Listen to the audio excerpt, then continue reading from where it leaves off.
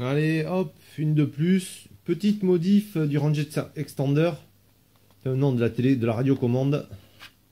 Allez, on va essayer de faire ça doucement. Voilà le bébé. Donc voilà, je suis venu brancher une batterie cœur. C'est euh, une sorte de batterie avec des ports USB à l'arrière qui vont me permettre par la suite de venir alimenter en direct mon Wi-Fi Range Extender. Voilà.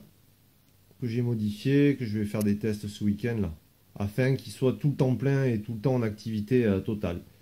L'avantage aussi de cette petite batterie, c'est de pouvoir alimenter mon téléphone portable. Parce que souvent lors des sorties que je fais, bah, je me retrouve avec mon téléphone vide.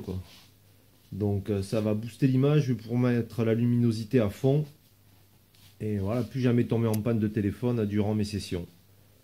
Donc euh, voilà, la petite astuce de vis. Un morceau d'ABS que j'ai mis dans le four. En fait, c'est tout simple. Hein.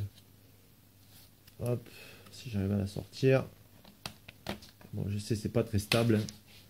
Voilà, un tube PVC que j'ai euh, que j'ai récupéré.